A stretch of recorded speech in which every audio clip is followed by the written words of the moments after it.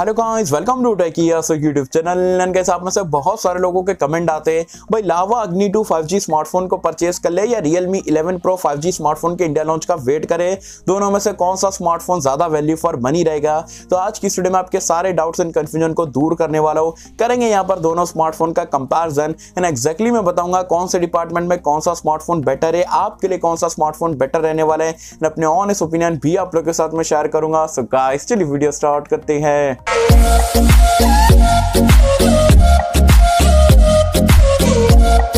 So friends video start कर लेते हैं। सबसे पहले बात कर लेते हैं यहाँ पर दोनों स्मार्टफ़ोन की अवेलेबिलिटी के बारे में। तो Lava Agni two five smartphone तो ऑलरेडी इंडियन मार्केट में लॉन्च हो गया है। अमेजोन पे आपको हर हफ़्ते में जो है फ्लैश सेल देखने को मिलता है। जबकि रियलमी इलेवन प्रो फाइव की अगर हम बात करें तो एट जून को यहाँ पर ये ऑफिशियल इंडियन मार्केट में लॉन्च होगा। फ्लिपकार्ट पर ऑलरेडी लैंडिंग पेज आ चुका है। तो थोड़े दिन का आपको यहाँ पर वेट करना पड़ेगा। अगर आपको रियलमी इलेवन प्रो परचेस करना है तब।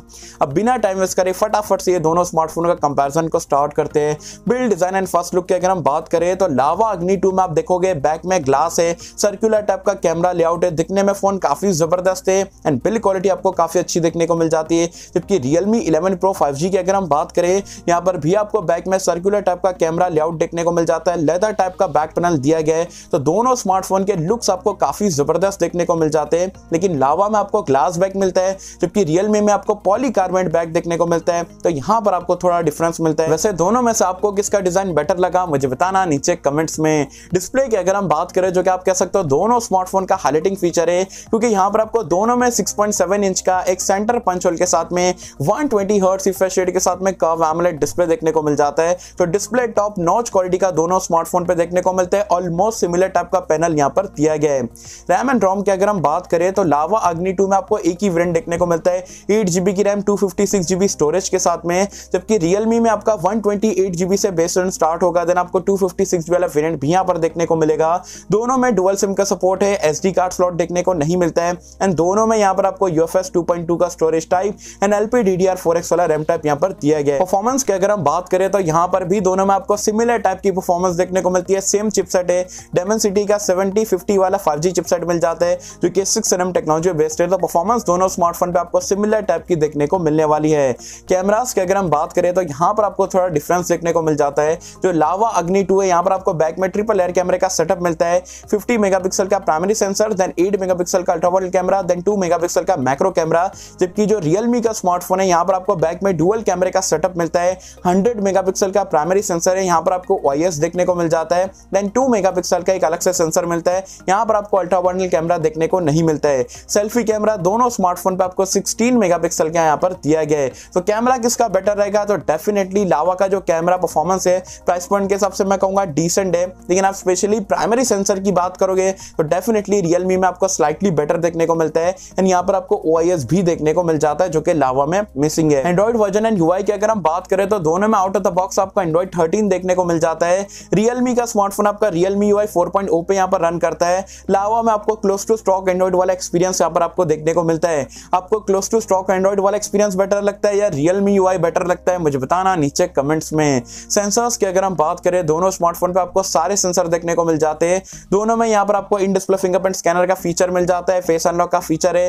दोनों में आपको 3.5 हेडफोन जैक का सपोर्ट देखने को नहीं मिलता है। लेकिन स्पीकर्स की अगर हम बात करें तो लावा में आपको बॉटम फायरिंग सिंगल स्पीकर यहाँ पर दिया गया है, जबकि रियलमी में जो है, आपको डुअल स्टीरियो स्पीकर का सपोर्ट देखने को मिल जाता है। बैटरी लाइफ की अगर हम बात करें तो दोनों स्मार्टफ़ोन पे बैटरी एंड फास्ट चार्जिंग में हल्का सी फ़र्क है। लावा में आपको फोर्टी सेवन हंड्रेड की आपको बैटरी मिल जाती है। सिक्सटी सिक्स वोट का फास्ट चार्जर आपको डब्बे में देखने को मिल जाता है। जबकि रियलमी की अगर हम बात करें थोड़ी सी बड़ी बैटरी मतलब पाँच हज़ार एमएच की आपको बैटरी मिलती है टाइप सी पोर्ट के साथ में। एंड यहाँ पर आपको 67 वॉट का fast charger out of the box यहाँ पर दिया गया तो बैटरी के डिपार्टमेंट में रियलमी का स्मार्टफ़ोन आपको स्लाइटली बेटर देखने को मिल जाता है as compare to lava Agni two five smartphone पे। सो गैस ये था यहाँ पर दोनों स्मार्टफ़ोन का कंपेरिजन अब बात कर लेते हैं सबसे इंपॉर्टेंट चीज़ के बारे में, क्या कुछ आपको एक्जैक्टली में दोनों स्मार्टफ़ोन की प्राइस पॉइंट देखने को मिलती है।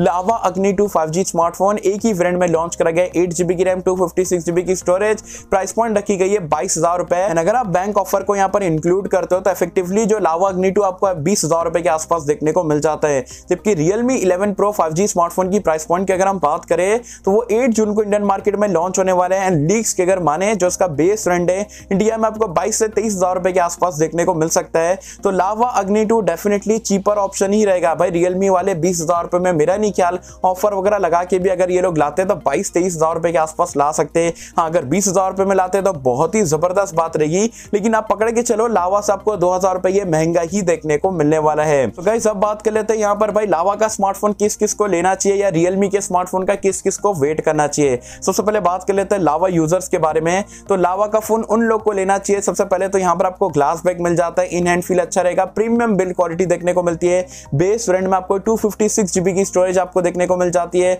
उसी के साथ में क्लोज टू स्टॉक एंड्रॉइड वाला एक्सपीरियंस है। इंडियन ब्रांड यहाँ पर आपको देखने को मिल जाता है। बहुत सारे लोग ऐसा रहता है ना, भाई चाइनीज़ ब्रांड नहीं चाहिए तो इंडियन ब्रांड देखने को मिल जाता है। And price point definitely Realme से आपको दो हज़ार रुपए तो कम यहाँ पर देखने को मिलेगी, वो श्योर है। अब बात करते हैं, भाई रियलमी का स्मार्टफ़ोन किस किस को वेट करना चाहिए? तो सबसे पहले तो यार आपको लेदरिश टाइप का आपको बैक पैनल अच्छा लगता है। कुछ यूनिक टाइप का डिज़ाइन चाहिए तो वो यहाँ पर आपको देखने को मिल जाता है। यहाँ पर आपको डुअल स्टूडियो स्पीकर का सपोर्ट देखने को मिल जाता है। उसी के साथ में यहाँ पर आपको जो कैमरा जो स्पेशली जो प्राइमरी सेंसर है, वो आपको जो ओ के साथ में मिल जाता है बेटर सेंसर के साथ में। एंड यहाँ पर आपको स्लाइटली बेटर बैटरी लाइफ भी देखने को मिलने वाली है। तो यहाँ पर आप पॉइंट के हिसाब से यहाँ पर देख सकते हो। मेरे हिसाब से अगर आपको लावा लेना है, अगर आपको स्टॉक एंड्रॉइड वाला एक्सपीरियंस चाहिए इंडियन ब्रांड का फ़ोन चाहिए तो डेफिनेटली लावा बीस हज़ार में अनबीटेबल टाइप की डील है। लेकिन आप ऐसे हो भाई, मुझे डुअल स्टीरियो स्पीकर का सपोर्ट बहुत ज़्यादा ज़रूरी है। कैमरे में आपको प्राइमरी सेंसर स्पेशली बेटर चाहिए ओ के साथ में। तो आप रियलमी के स्मार्टफ़ोन का भी वेट कर सकते हो। रियलमी में अगेन बोलूँगा कि आपको लावा के कंपेरिजन में ऑफ़र वगैरह लगा के अलावा का बीस में मिलता है, वो बाईस तेईस हज़ार रुपए के आसपास ही देखने को मिलेगा। तो प्राइस पॉइंट पे भी आपको दो हज़ार रुपए के आसपास का डिफरेंस देखने को मिलने वाला है। वैसे कैसे हाँ मुझे कम सेक्शन में बताना, आपने क्या ऑलरेडी लावा अग्नि टू फाइव स्मार्टफ़ोन को ले चुके हो